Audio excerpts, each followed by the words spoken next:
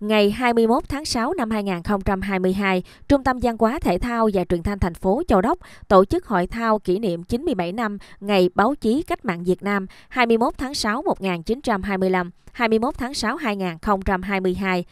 Tham gia hội thao có hơn 30 vận động viên là viên chức của Trung tâm Văn hóa Thể thao và Truyền thanh thành phố và cán bộ nhân viên của Ban Quản trị Lăng Miếu Núi Sam tham gia tranh tài ở hai môn thi đấu gồm bóng đá cầu lông và thi hát karaoke. Hội thao kỷ niệm 97 năm Ngày Báo chí Cách mạng Việt Nam là dịp để các phóng viên, viên chức của trung tâm và cán bộ nhân viên của Ban Quản trị Lăng Miếu Núi Sam tăng cường đoàn kết, giao lưu học hỏi, rèn luyện sức khỏe, tập luyện thể thao theo gương Bác Hồ vĩ đại. Sau gần một buổi tranh tài sôi nổi, ban tổ chức đã trao cờ lưu niệm và các giải nhất nhì ba cho các động viên có thành tích xuất sắc trong thi đấu.